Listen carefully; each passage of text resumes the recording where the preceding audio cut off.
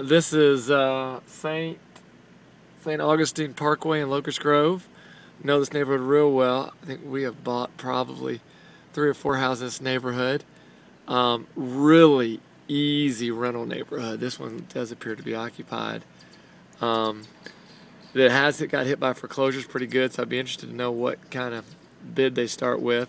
I know the houses that we bought were about three years ago. We were buying them for about seventy-five thousand a piece and having to do work on them. So I think if you can get in that same ballpark, it'll be really good. This house should rent for a thousand to eleven hundred, pretty consistently and pretty easily. It's a really good location, and just a really good cookie cutter home neighborhood. These houses were originally selling from the 140s about five years ago when the neighborhood started.